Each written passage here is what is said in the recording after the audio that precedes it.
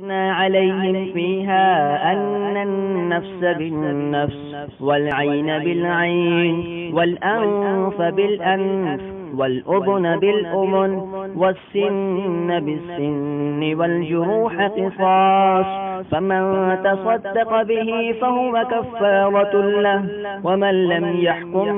بما